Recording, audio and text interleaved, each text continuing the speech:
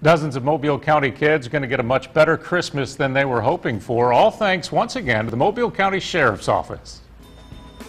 Old St. Nick needed more than just elves to accomplish this giveaway.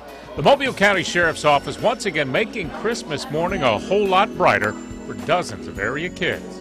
Oh, they're going to be so happy to get them. They're just going to be ecstatic. I mean, because our, our Christmas is looking pretty grim this year, so, you know, they're going to be really happy. They're definitely not expecting it. It took a small army of deputies to make this happen, along with sponsors like Walmart, Dixie Pools, Evonik, and Wind Creek Casino. So uh, this is about the 10th year that it has been done.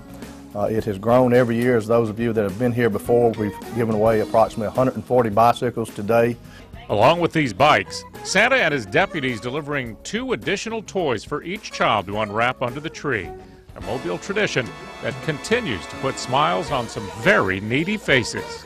Well, it, it bu- brought presents to our Christmas. Before it was just going to be, you know, just family, nice to, you know, uh, have family for Christmas and, you know, be grateful for what we have. Well, now we have a lot more than we expected.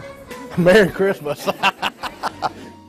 Big smile by uh, by the sheriff there, and you know each and every year they've done this for 10 years now, and close to 700 kids have received bicycles and other toys. Really a great them.